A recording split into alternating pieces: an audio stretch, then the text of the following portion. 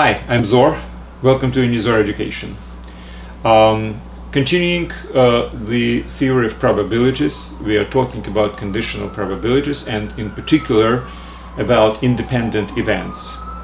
Um, now this lecture is part of uh, Advanced Mathematics for Teenagers presented on unizor.com website and that's where I actually suggest you to uh, to watch this lecture from because there are notes for the lecture which are very useful and uh, um, I would recommend you actually to read the notes maybe before you, you, you listen to the lecture and definitely after that just to make sure that you understand all the concepts. Alright, so about um, independence, independent events. Well, intuitively we kind of feel what independent events actually mean. Um, however, um, if we are talking about theory of probabilities and in particular about conditional probabilities, we can actually uh, specify quite precisely uh, what independent events um, actually uh, mean. So, in my particular case, um, I uh, would start with a definition of the uh, conditional probability, and we know this from the previous lectures conditional probability of event A under condition that event B occurs is equal to probability of their uh, intersection, the event we are interested in, and event which is a condition, the intersection of these two events, which means they the probability of them happening at the same time divided by the probability of uh, the event B which is a condition. Now graphically it looks like basically this. So if you have certain area which is our sample space and this area represents a condition B and this area represents represents um, an event which we are interested in so basically the probability of A by itself is a, a relative area of this uh, figure relative to the whole um, uh, sample space. So if sample space has a probability of 1, then the diffraction which is taken by events, elementary events concentrated in this area is its probability. Same thing with uh, event B um, the probability of B is actually the fraction of um, all the elementary events which fall into this figure relative to all the elementary events in the entire um, sample. So basically what this says is that uh, the conditional probability of A under condition of uh, B occurs is basically a fraction of this area which is intersection of A and B, relative to B. So we are kind of narrowing down the entire um, sample space to only those elementary events which are concentrated in, uh, in, in the event B. And so we have to disregard everything outside of B because the probabilities are actually shrinking uh, towards this particular area, making everything outside of the B probability of zero and making everything inside of B correspondingly greater as if this is a new area of, of equal to 1. So this is our new, uh, if you wish, uh, sample space. And this is the fraction which is taken by all elementary events which are falling into A. Because all these elements outside of B have a probability of 0. So this area relative to this area is a conditional probability. Okay, that's just a, a, deviation back to the definition of what conditional probability actually means. But now let's talk about what events we can call independent. Well, from just the meaning of the word independent, if I would like that A to be independent of B, it means that the chances to occur uh, for the event A should not really depend on whether event B occurs or it doesn't occur. So basically the definition of independence is this.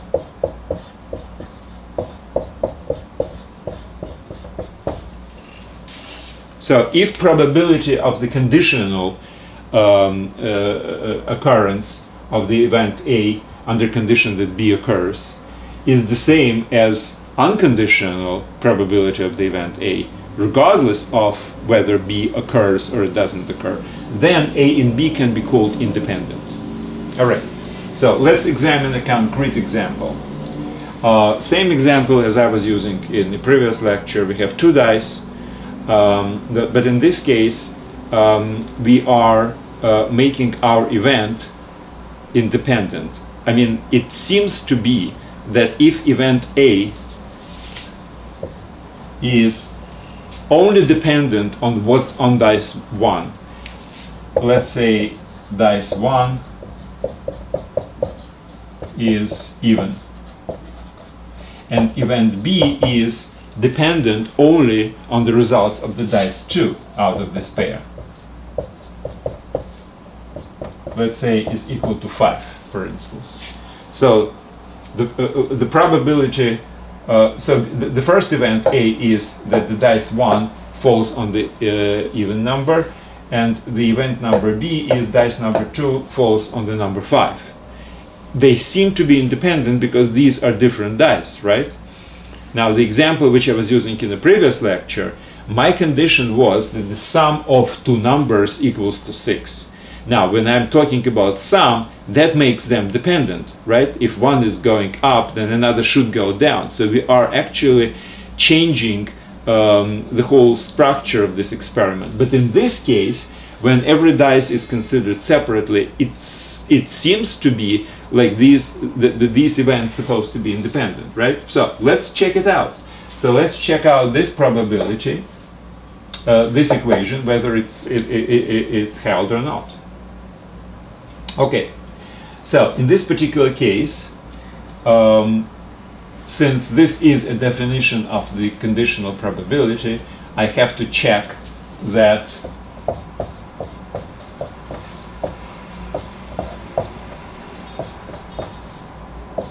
this particular equality is held. So let's check it out. So we need three different probabilities, A, B, and A intersection with B. All right, the probability of A, well, dice 1 is even. Well, that means it's 2 or 4 or 6. Now, considering our um, uh, uh, sample space is still the same 6 by 6 square one two three four five six one two three four five six so what does it mean that the first dice is even so the first dice is even means these and these and these events elementary events 3 times by 6 is 18. So the probability is 1836. Now what's the probability of dice number 2 is 5. Now dice number 2, 5 is the fifth column. So it's this one. That's 6 different elementary events. Right? So this is 1 half, this is 1 six. And finally, what's the probability of combined, A and B. So it's an intersection, this and this. So we have three cases. We have this one, 2, 5, 4, 5, and 6, 5. So that's 3, 36. Well, and obviously you can check that if you divide this 1 12th over uh, 1 6 you would get 1 half right 1 12 divided by 1 6 is equal to 6 12 which is 1 half. So this particular equality is held and since this is a basically definition of this the conditional probability is equal to unconditional probability. So we were just checking that our intuitive understanding of the independence when the, when, when the one one event depends on the one dice and another depends on another dice, well, that confirms actually that they are really independent. Okay. So we have defined what the independence actually is. Um, we checked on a concrete example and let's just examine a couple of properties of independent events. The property number one, the independent events are symmetrical in some ways, which means that if A is independent of B, which means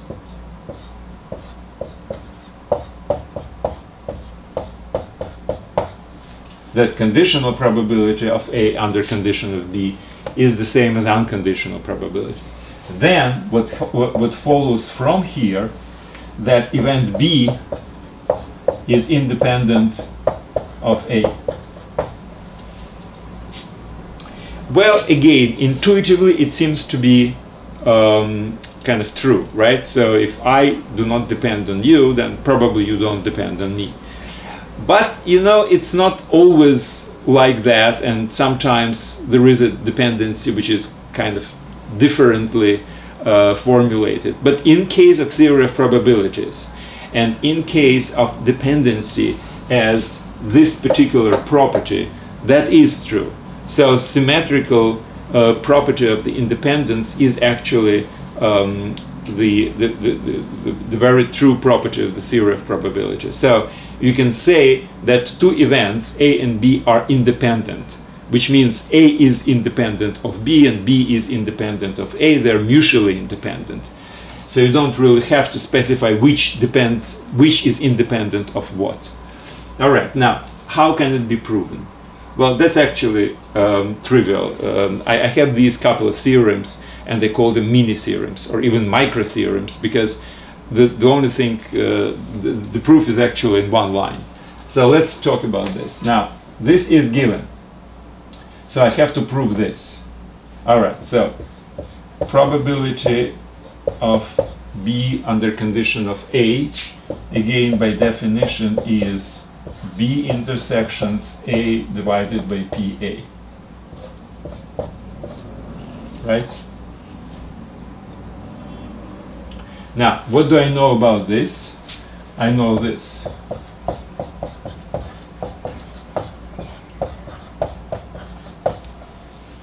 So that is given.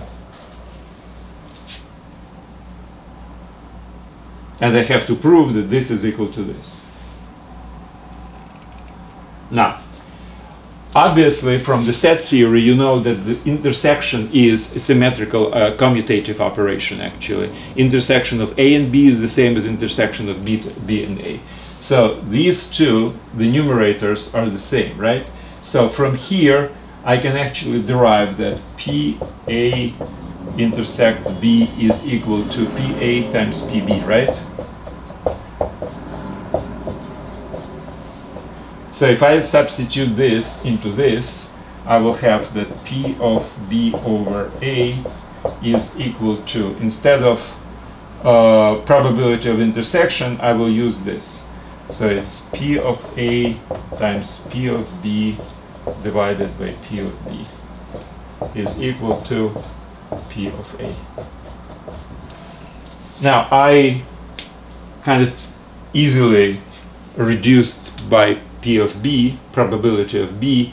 Uh, obviously you know from algebra that it's not such a um, uh, obvious kind of simplification because you really have to check if uh, uh what you are um, uh, cutting off from this uh, from this fraction is not equal to zero, right?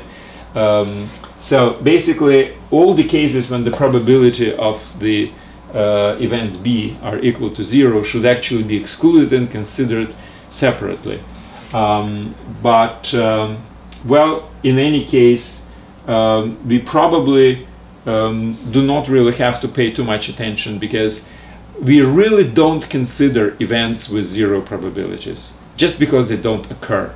So let's consider that everything, whatever I'm talking about, assumes that probability of events is, not really equal to zero whenever it's really important, like in this particular case. But in any case, in, in, in any case, um, uh, wait a moment, I think I made a small mistake. Yes, yes, I made a small mistake. I, I really have to put it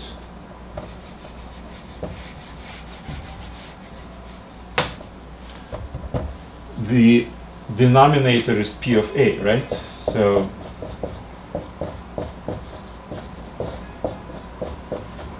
it's P of A which is actually supposed to be reduced, which is equal to P of B, probability of B, and this is exactly what's necessary to prove. All right. Um, so this is my mini theorem one, let's put it this way. So whenever event A is independent from event B, event B is independent from event A, and they are mutually independent, or just pla plainly independent events A and B. Okay.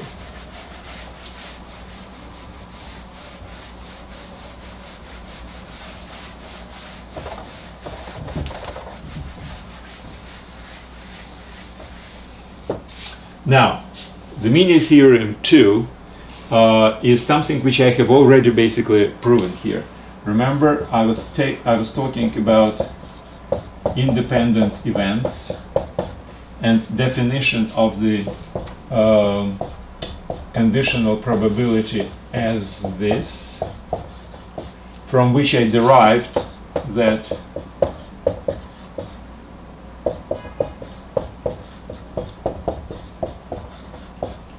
the probability of simultaneously happening two independent events equals to the product of their probabilities. It's right from here. So if they are independent, this is definition of independence. And this is equal to this, basically by definition of the conditional probability. So they are equal, and from this equality, I derive basically this property P of B I multiply by PA to get the, to get the intersection. So again, the probability of simultaneously happening two events, A and B, is equal to uh, their product if they are independent. Now, the reverse, and this is the next theorem, is also true. Because if I have this as given, I can from here get this, right? So from here, I'm getting this.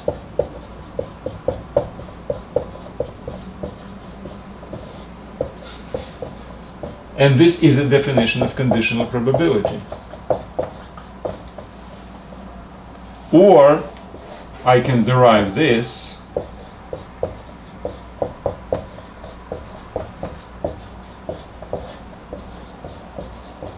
And this is also a definition of conditional probability, but in reverse order. So that's just another way to prove that they are both equivalent to each other. So, for independent events, the probability of simultaneous occurrence of both events is equal to the product of their um, probabilities. Now, let's go back to example which I was using before. with two dice. And let's check if this is true. So we have two dice, right? Um, one is dice number one is even. That's my A event. My B event, dice number two, is five. So the probability of this is equal to uh, 1836, which is one half. Probability of this is equal to one uh, six, because I have only uh, the second one is five, and the first one can be one or two or three or four or five, or five, five or six. So it's six different combinations. And finally, A and B. So I have even uh, first dice and five the second dice. So it's two five, four five, and six five.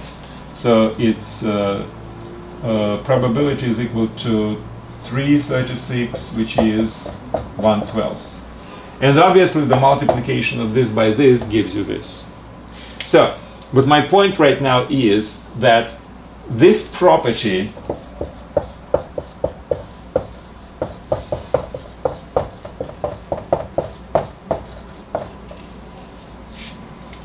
that the probability of the intersection of events sometimes by the way intersection of uh, events especially independent events sometimes it's called a product of events but that's just term terminology. It's basically intersection in the set theory uh, sense. So the probability of the intersection of two events is equal to the product of their probability. So this is a characteristic property of independent events. Characteristic in a way that if events are independent then this is true. And if this is true, then events are independent, as we have proven in both cases. And this is just a checking for the case which we were already um, kind of considering before. Here is an interesting consideration which I would like actually to end with this lecture. Um, the graphical interpretation of this. Um, I would like to graphically show the mutual independence of the events. If one is, ind is independent from another, then another is independent on the first one, but I would like to present it graphically. Here is my, my, my point. Let's consider this to be my sample space. Now, and I have two events, A and B, and uh, I will uh, use letters for different areas. So the whole area would be X. Um, this area would be Y. This is Z. And this is, let's say, U. Okay?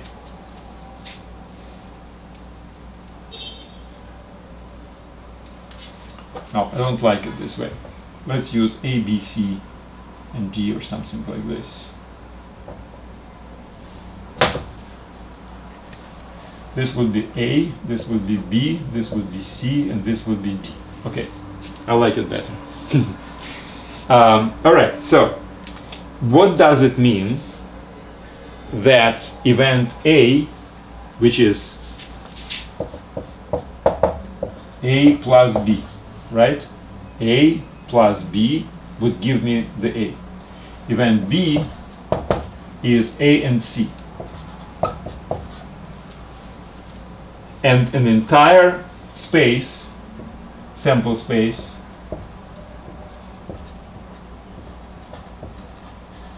is A plus B plus C plus D.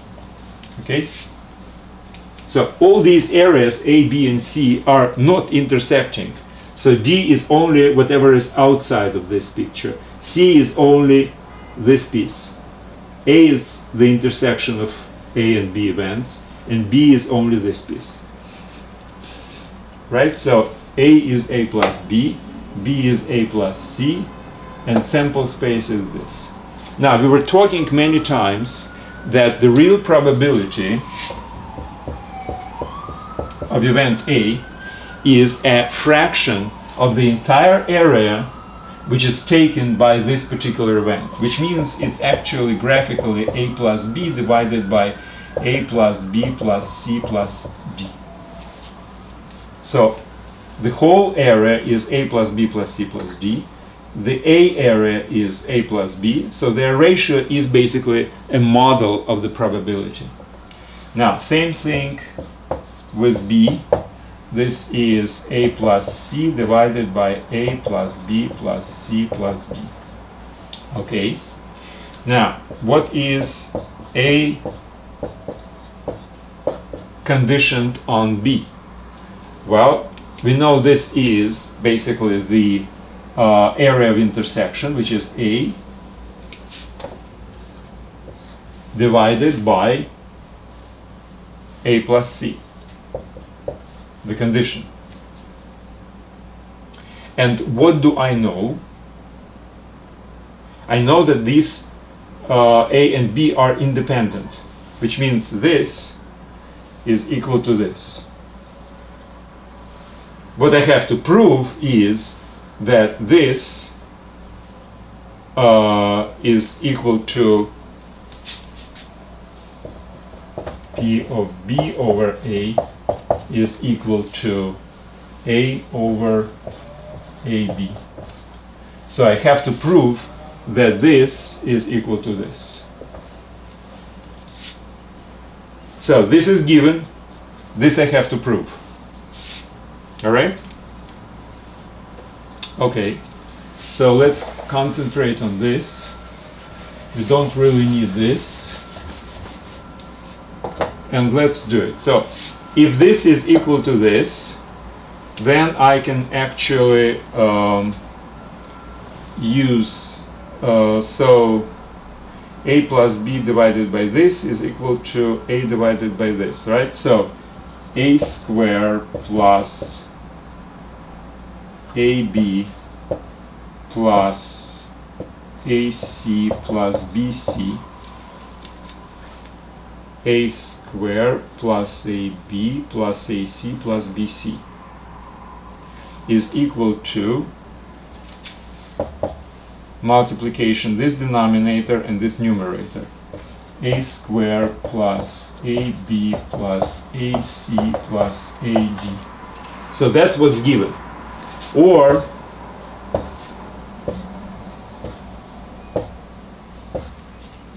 bc is equal to uh, ad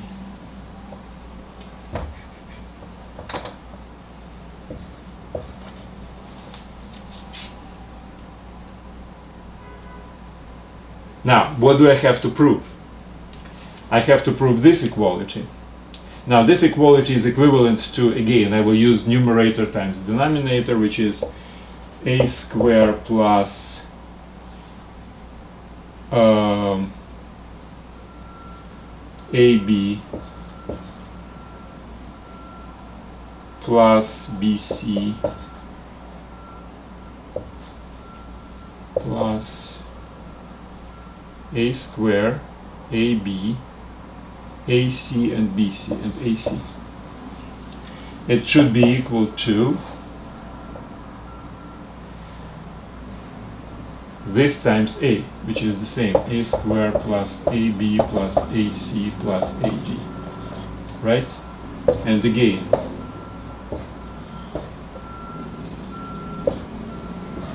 and I have exactly the same BC is equal to AD so if BC is equal AD as follows from the first one, then this equation is true, then this equation is also true.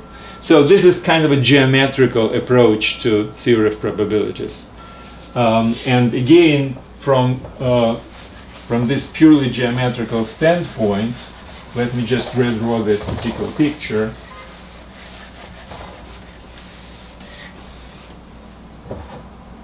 So what did I have? I had this. Was A, B, C, D. So what do I have here? Uh, let's do it differently. A divided by B is equal to C divided by D, right? So A divided by B is equal to C divided by D. That's what's an interesting kind of geometrical interpretation of probabilities using the areas. So the intersection